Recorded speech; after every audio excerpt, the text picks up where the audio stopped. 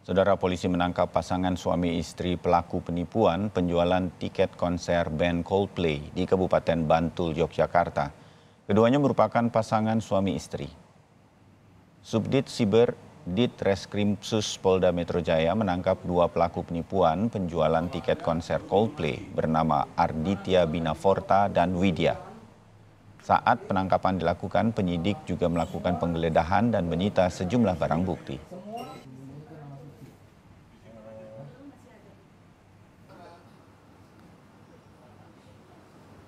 Kedua pelaku kini sudah dibawa ke Polda Metro Jaya untuk menjalani pemeriksaan intensif.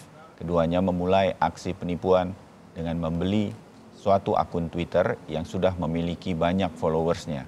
Pelaku kemudian membuka just tip atau jasa penitipan pembelian tiket Coldplay dengan tarif slot sebanyak Rp50.000 per tiket. Dari pembayaran slot tersebut, nantinya pembeli dijamin akan mendapatkan satu tiket konser. Sementara rekening yang digunakan pelaku adalah rekening yang dibeli dengan identitas berbeda. Pelaku terancam hukuman 20 tahun penjara akibat kelakuannya.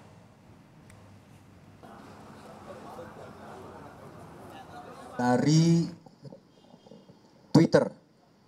Jadi mereka beli dari seseorang website ini.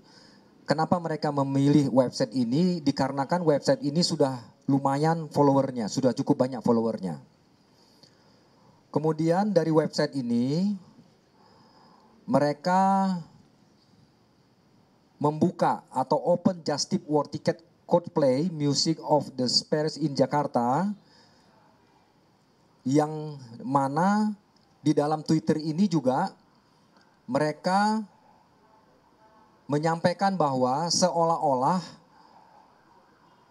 website ini telah menjual berbagai tiket konser sebelumnya dan berhasil.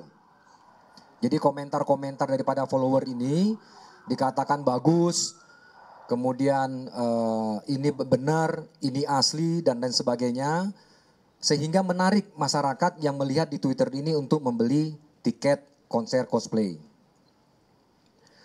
Kemudian setelah mereka membuka atau membuka uh, untuk menjual tiket, mereka mengharuskan